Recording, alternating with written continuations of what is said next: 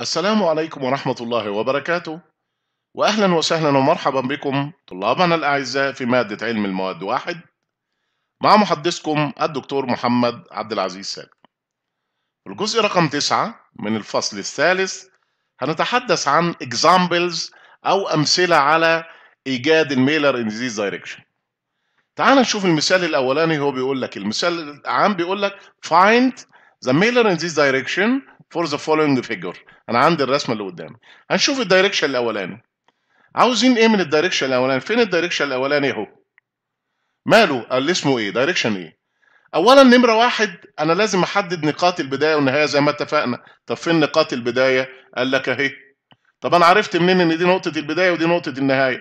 قال لك النقطة اللي ناحية رأس السهم تعتبر نقطة النهاية. والنقطة اللي هو منطلق منها يعتبر نقطة البداية. طب نقاط إحداثيات نقطة البداية هنا كام؟ قال لك صفر. صفر وصفر وصفر. طب وإحداثيات نقطة النهاية لقينا إن هي واحد وصفر وصفر، يعني أنا مشيت في اتجاه ال X وما مشيتش لا في اتجاه ال X زي ال Y ولا في اتجاه ال Z. طيب تعالى نطرحهم من بعض. أداني ناتج الطرح أداني إيه؟ أداني واحد واحد صفر. طيب أسأل نفسي هل عندي fraction؟ عندي كسر؟ لا ما عنديش كسر. طب هل عندي negative؟ لا ما عنديش نيجاتيف. طب أعمل إيه؟ أروح حاطه بين قوسين مربعين زي ما أنا شايف كده ويبقى أنا كده اتحصلت على ال Miller indices direction.